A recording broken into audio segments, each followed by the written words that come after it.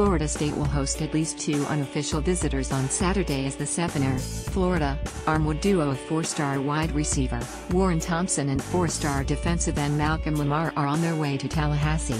According to Thompson on Saturday morning, Thompson committed to FSU on Wednesday.